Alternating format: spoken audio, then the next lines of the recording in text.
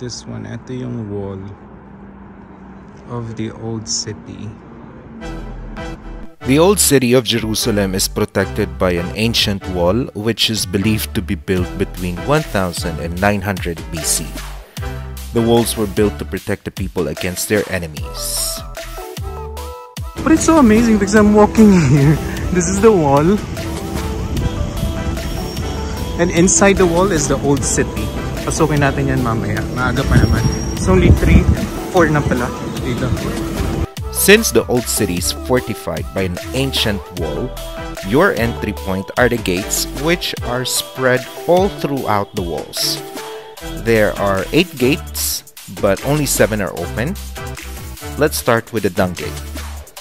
The dung gate will lead you to the western wall and the dome of the rock. This is the dung gate.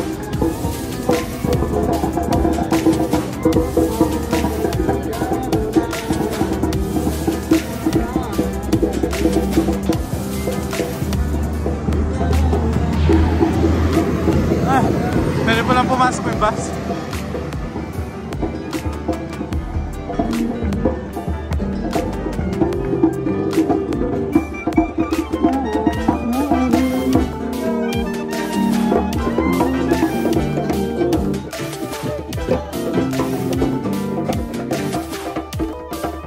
This gate's Arabic name is the Gate of the Prophet David, as the tomb of King David on adjacent Mount Zion is only a few steps away. If you look closely on this gate, this is one of the battle-scarred gate built in the 1540 at the southwestern corner of the old city.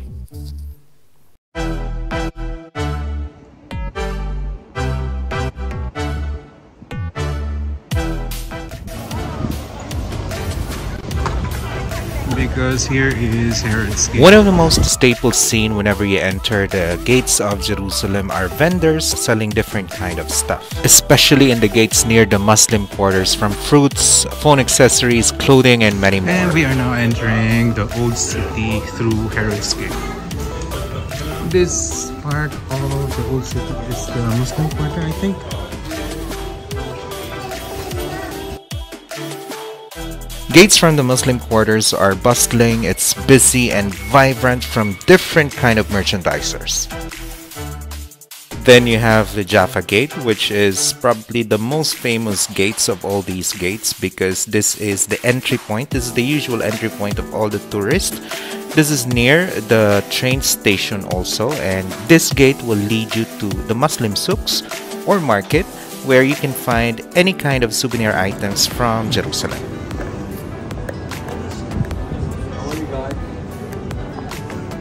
Thank you. Balance. Latest. Thank you.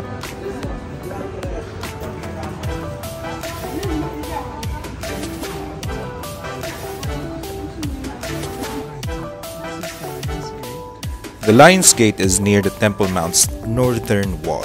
In Arabic, the gate is known as Bab Saint Maryam, named for the Virgin Mary, Mother of Jesus, who is buried at the foot of the Kidron Valley. Outside the gate, you can reach Mount of Olives by foot. While if you go inside, you can easily see the birthplace of Virgin Mary and start your way to follow Via Dolorosa.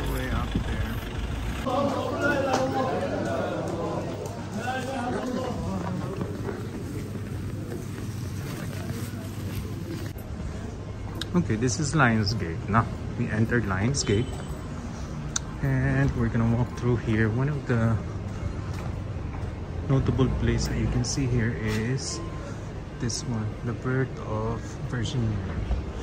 It's so ironic because this place is in the Muslim quarter, and you have these names.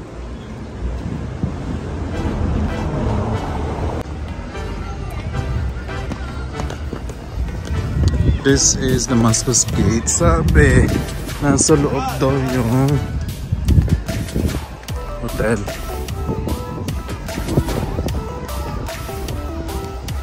This is one of the gates.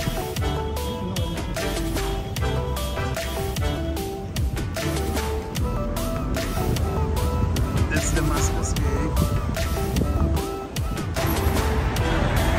This is called the new gate of the old city. This is the newest gate located at the western section of the northern wall. It was built to provide access between Christian Quarter and the new neighborhoods. One ancient wall, seven different gates, and four major quarters sharing the old city of Jerusalem. Over history, the wall isn't just a wall anymore, as it fortified the city against many different conflicts in the past. The gates are more than just entryway. They were silent witnesses of the old city's construction, destruction, and reconstruction over many centuries. But one thing is for sure, if people of Jerusalem nowadays can share this place as their place of worship, we might not need armed officers heavily guarding the Holy Land.